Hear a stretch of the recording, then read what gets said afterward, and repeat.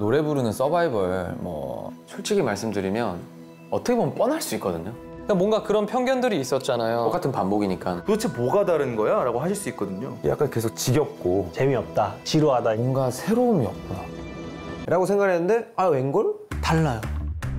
노래방 서바이벌이라는 것 자체가 굉장히 신선했던 것 같고 한편일률적으로 네. 쏟아져 나오는 오디션 참가자들이 아니고 King of Karaoke vs